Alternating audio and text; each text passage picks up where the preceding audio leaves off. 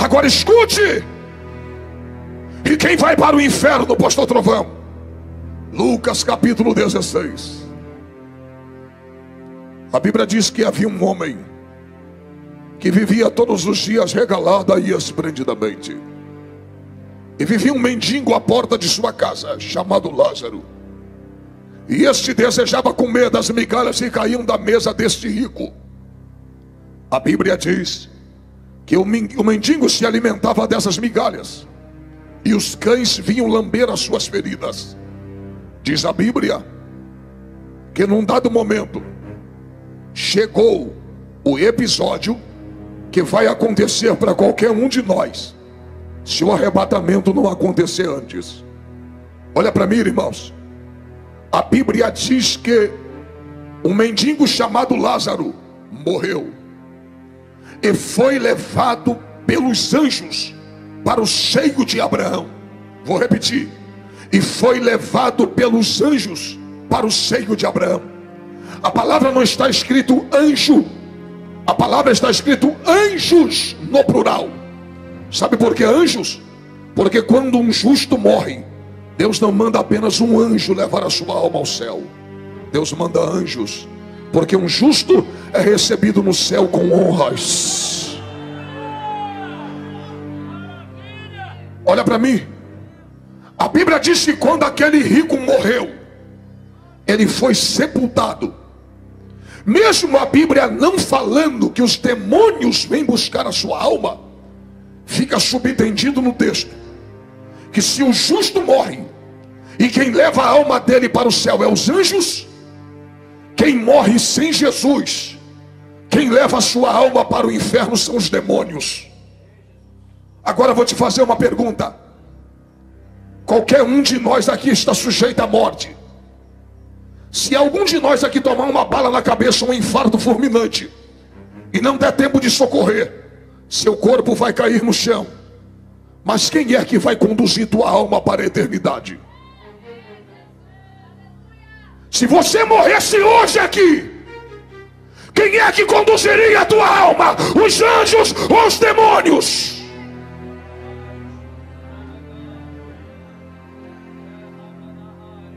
A Bíblia diz que aquele rico vivia todos os dias regaladamente e esplendidamente.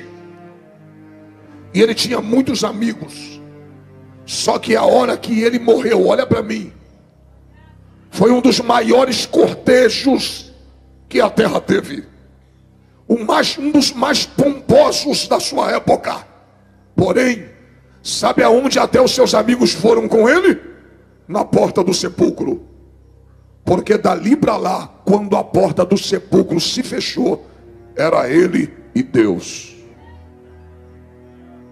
E é justamente após a partida, olha para cá, é justamente após o fechar dos olhos que a história começa.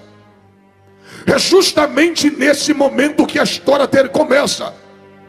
Porque após a morte do corpo, tem vida na eternidade, segundo diz a Bíblia. Olha para mim. A Bíblia diz que quando o rico morreu, quando ele chegou lá embaixo, a Bíblia vai dizer assim: e vendo ele Lázaro ao seio de Abraão, disse: Pai Abraão, olha para mim. Uma pergunta, Pastor Trovão: como é que ele conseguiu ver o homem que estava na porta dele mendigando, como que ele conseguiu ver na eternidade este homem? É simples. Porque antes de Jesus ressuscitar, o paraíso era embaixo da terra.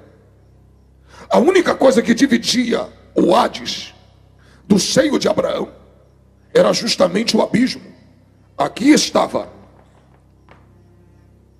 o Hades, o lugar de sofrimento, no meio ficava o abismo e do outro lado ficava o paraíso.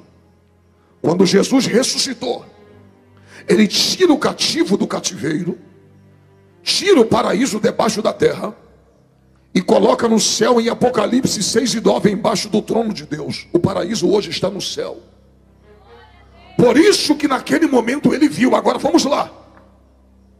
Ele está desprovido do corpo Acompanhe comigo agora. E vendo ele Lázaro no seio de Abraão, disse: A primeira coisa que aconteceu na eternidade, ele viu. E ele não estava na inércia, ele reconheceu quem era o homem que estava na sua porta como mendigo na eternidade. A primeira coisa que a Bíblia vai dizer é que ele está na eternidade e ele vê. Então aprenda, aprenda isso aqui. Quem está na eternidade tem visão. Quem está na eternidade enxerga. E vendo ele, Abraão, e vendo ele, Lázaro no seio de Abraão, disse: Vendo quem está na eternidade, enxerga. Abriu a boca e clamou. Repita comigo: clamou. Sabe o que quer dizer a palavra clamar? Gritar. Gritar alto. No inferno ninguém ora. No inferno todos clamam. Eu descobri que o lugar que mais se adora a Deus é no céu. A adoração no céu não cessa. O lugar que mais se ora a Deus é na terra. Mas o lugar que mais se clama a Deus é no inferno. O clamor do inferno, Deus ouve, mas não atende.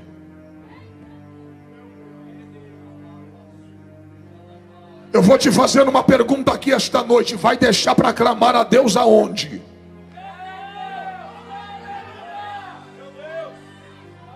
Enquanto você está de boca fechada aí, tem alguém lá embaixo, desde a época de Adão, que a boca dele não fecha. Clama a Deus por misericórdia. Peça a Deus, me tira daqui. Deus não tem como mais tirar. Deus está dizendo: a oportunidade é agora. Se tiver de me clamar, clama agora. Se tiver de me adorar,